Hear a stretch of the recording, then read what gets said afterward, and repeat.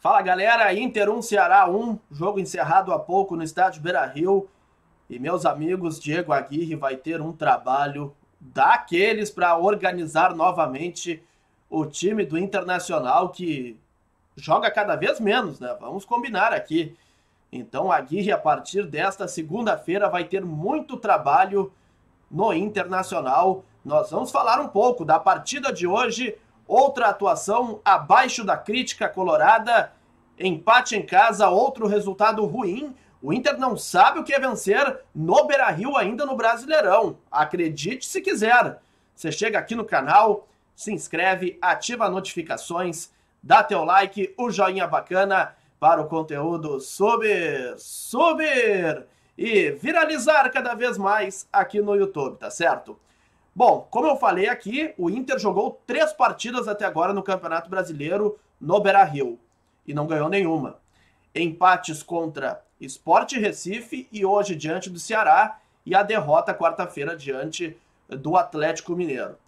Diego Aguirre, novo técnico colorado, nós anunciamos aqui inclusive ontem por volta de quatro e meia da tarde que ele estava de volta ao Beira-Rio após seis anos.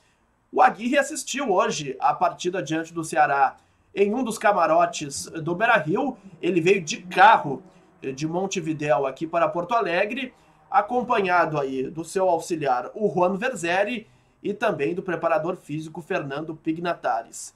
E certamente o Aguirre deve ter ficado muito preocupado com o que viu do desempenho do time do Inter em campo.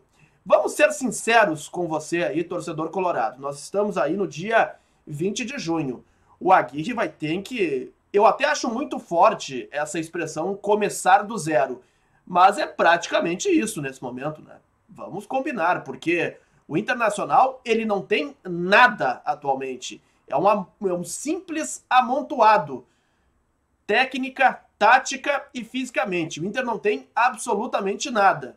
Então, eu penso que o Aguirre ele vai ter que ter um pouco de paciência, claro, mas uh, até o seu auxiliar ali, o Juan Verzeri, estava ali anotando cada lance, cada erro, erro de jogador.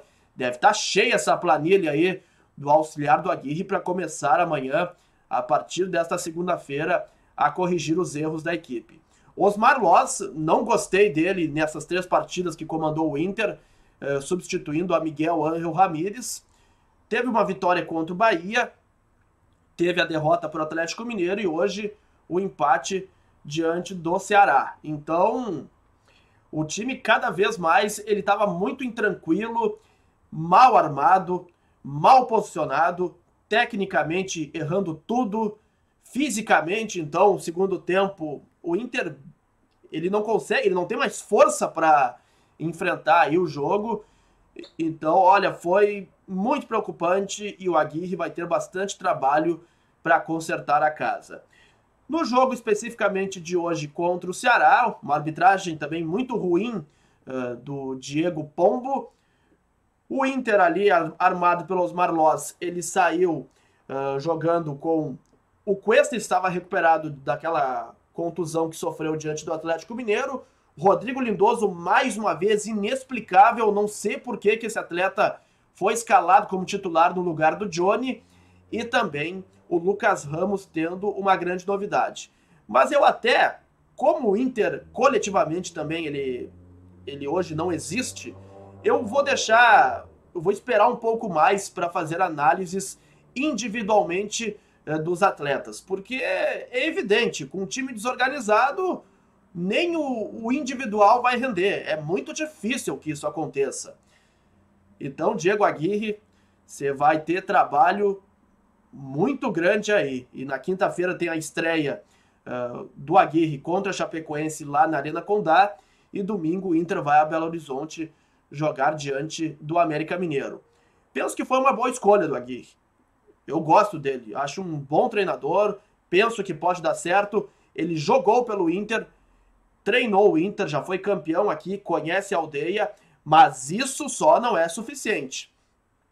Claro que o Aguirre vai ter que organizar uh, taticamente a equipe, fisicamente vai ter que ter uma, uma atenção especial, porque hoje o Inter não tem absolutamente nada. É simplesmente uma gororoba física, técnica e taticamente. Só que isso, além de ser organizado e também melhorado aí todos esses processos, a direção vai ter que se mexer e contratar jogadores. Dois zagueiros, no mínimo, de qualidade para atuar ao lado do Cuesta. Um lateral esquerdo, porque o Moisés e o Léo Borges, eles são insuficientes, não são jogadores com a qualidade eh, para o tamanho que o Inter aí ele tem, por ser um clube grande, e um volante indiscutível. Eu não entendo por que, que o Lindoso ele ainda segue jogando no time do Inter. Ele já provou mais de uma vez que não tem condições de jogar no Inter.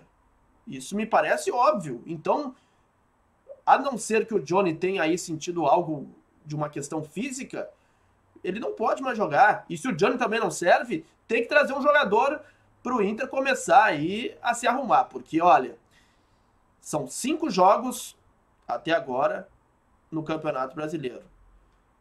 De 15 pontos possíveis, 5 conquistados. É inegavelmente uma largada muito ruim do Inter no Brasileirão. Então o sinal de alerta está ligado e Diego Aguirre, repito aqui, terá um trabalho daqueles para organizar o time do Inter que hoje não tem. E eu vou, sim, eu vou ser sincero com vocês e sem fazer terra arrasada. O Inter hoje não tem nada.